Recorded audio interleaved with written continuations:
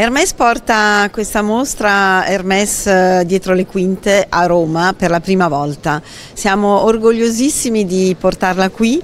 Eh, eh, Roma è una città dove l'artigianato è sicuramente un elemento molto importante e che si sente fortemente e trovavamo importante eh, mostrare tutto il mondo artigianale che c'è dietro eh, a questo universo Hermes. È un'occasione eccezionale, unica, perché eh, sono tanti savoir-faire tanti mestieri che sono dislocati su tutta la Francia, per cui poterli avere insieme in un'unica location eh, e poter parlare con questi artigiani che ti raccontano come fanno il prodotto, come lavorano, da dove arriva la materia prima eh, e quanti anni, quanto tempo ci vuole per lavorarlo, eh, pensiamo e sappiamo che è una cosa che affascina il pubblico. Le sfide per Hermes in Italia sono, sono, tante, noi siamo un mercato molto importante, siamo un mercato storico perché esistiamo da eh, circa il 1955, Hermes è presente sul territorio italiano ed era presente in modo capillare in tantissime città. Questo fa che la notorietà è molto forte e si passa la parola nelle famiglie, nelle famiglie c'è proprio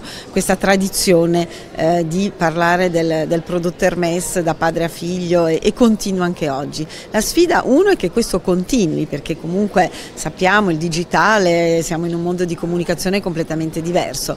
Dunque per noi è fondamentale coltivare questo chi siamo, far conoscere, far sapere Hermes chi siamo eh, per i giovani. Questa è la grandissima sfida. Io dico sempre che abbiamo la grandissima fortuna di lavorare nel bello e, e questo è un privilegio infinito. L'oggetto trasmette delle emozioni, è la composizione della lavorazione della materia prima e del suo utilizzo che renderà questo oggetto unico. I nostri clienti renderanno gli oggetti unici, ognuno è diverso da come lo porta, da come lo usa, da come lo interpreta e, e, e si crea proprio una relazione. Dunque per me Hermes è un'azienda meravigliosa, un'azienda composta da uomini fondamentalmente fondamentalmente uomini che amano il bello e il loro lavoro.